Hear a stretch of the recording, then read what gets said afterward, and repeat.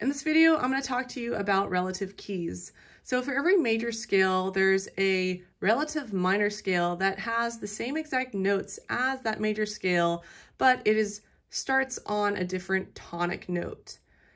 And for every minor scale, there's a relative major scale.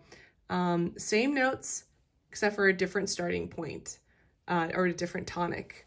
So if we take, for example, C major,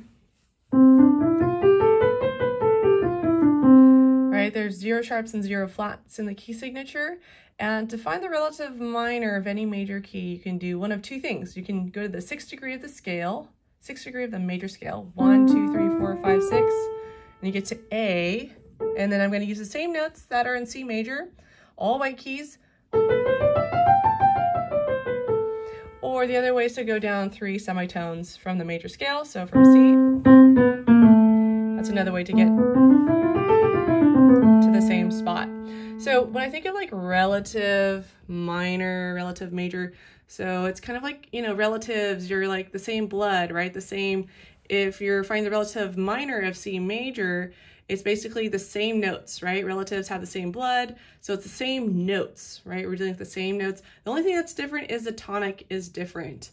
So let's take another example. Let's do G major All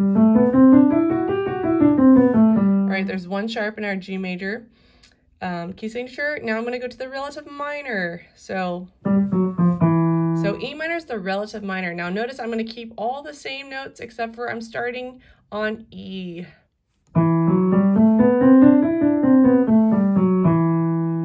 Okay, let's do another one. How about, let's do D major.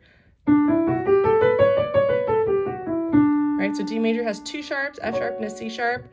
And um, this time I'm gonna go up to the sixth degree of the D major scale. One, two, three, four, five, six. So B minor is the relative minor of D major. And so when you um, think about the relative major, relative minor, um, you know, these are really, these are probably the close, the most closely related keys just because there's, you're using the same materials, the same exact notes.